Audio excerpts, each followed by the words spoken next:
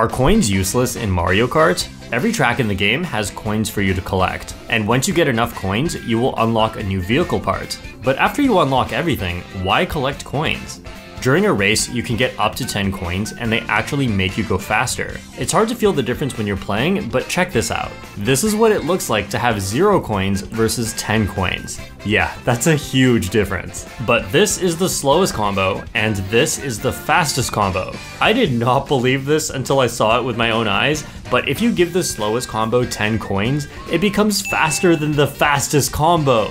Coins matter more than the speed stat. So whether it's online races or time trials, just remember that if you're struggling to do well, just get more money and you'll solve all your problems.